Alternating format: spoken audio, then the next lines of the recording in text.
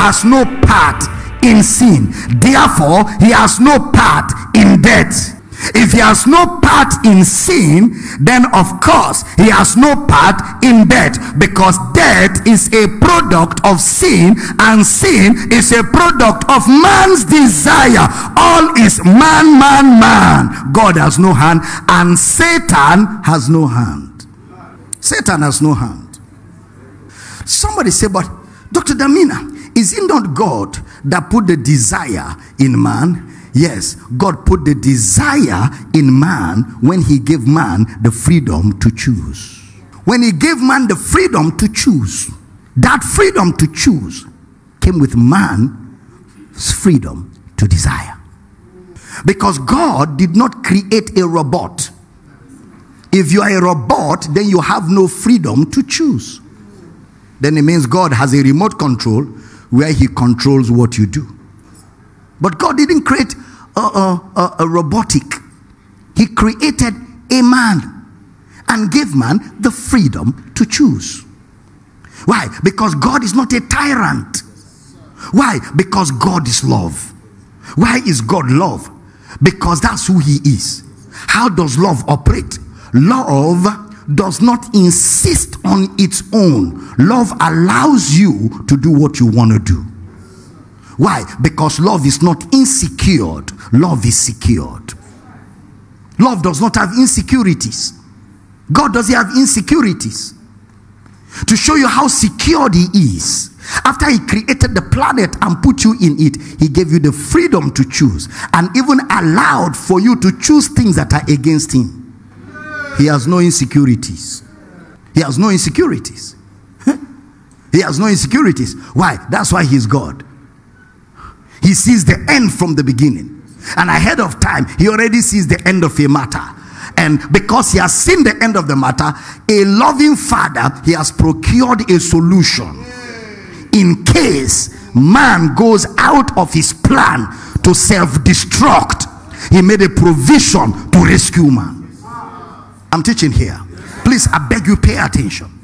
He made a provision to rescue man from the consequences of man's choices, which could be detrimental, which could destroy man. Why? He loves. God is not just love in the New Testament, love is his character before the world was created. It's not after Jesus died that God loved man. God loved man before Jesus died. It is the love of God that gave Christ.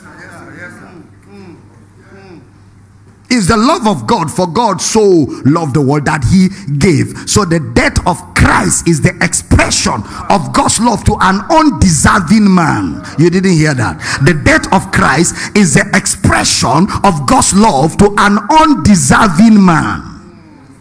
That's why it's called grace. That's why it's called grace. God created the world.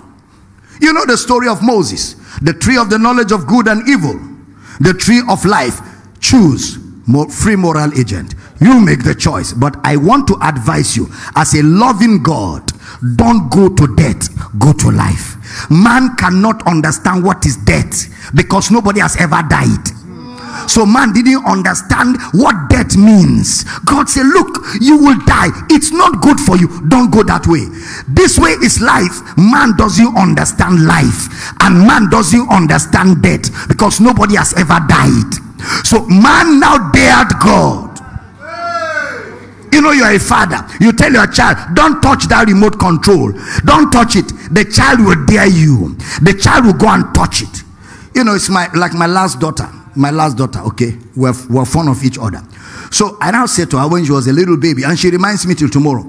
I took her because she likes to play, and I think I was very tiny. She likes to play around electric sockets. I don't know that kind of attraction attraction to electric sockets, not even attraction to toys or television. Socket, socket.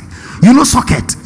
So every time you see her trying to put her finger inside that hole, I say, Baby, baby, come, baby. It will shock, shock, shock. Now, when I now said it will shock, she became more attracted. She started daring me. Then one day I was standing and watching her. She put her finger and the socket was on. I didn't stop her. Love will let you go to hell if you want. Love. God can love you to hell. I was just watching her. Since I've been talking, you refuse to hear. Maybe one lesson will teach you better. She put her finger, and the thing shook. It shocked her. She went. Then now, after she removed her finger, and the thing is paining her, the next is to look around if anybody is looking. I'm standing in one corner looking at her. The moment our two eyes jammed, I smiled. She started crying. Till tomorrow, when she sees me, she say, You, this man, you, this man, you are very wicked. And you are standing in that corner and looking at me. And then when he shocked me, you are smiling. I say, Because love will let you have your way. That's love. God was watching Adam eat the fruit. He didn't talk again after the warning. God wasn't innocent. That's why he's God. He saw it. He saw Adam go. He saw Adam take a step. He saw Adam do it with Eve. He was watching them. And after they finished, God was still watching them. When they entered the bush to hide in the leaves, God saw them. And God said, Adam, Adama, where are thou?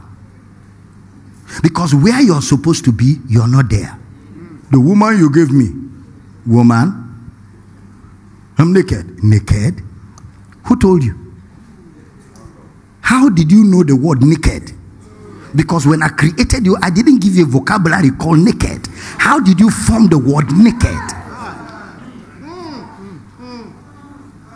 He became aware of the negative, which God didn't teach him.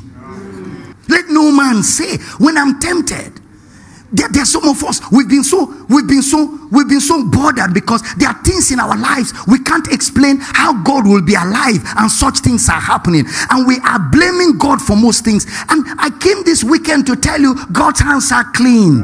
God has no hand in it at all. Somebody said, well, How can you tell me, Dr. Damina? God knew that when I was born, I didn't have a father, I didn't have a mother. Why did He allow my father and mother to die? God is not to blame. You don't know what choices your father made, you don't know know what choices your mother made. God does not get involved with such things. And maybe your father and mother made stupid choices that took them out of existence and they abandoned you as an orphan and you had to grow. But the good thing is that God was there for you. You didn't also die young. He allowed you to grow. He protected you. Somehow, somehow, He dropped provisions, adjunctions to help you grow. Now you've grown, you can make decisions for your own life. You're not responsible for your father's choices. You're not responsible for your mother's choices. You're only responsible for your own choices. Teaching good tonight. To your neighbor say, Let no man say. When he's tempted, I'm tempted of God. Now tell your neighbor, God cannot.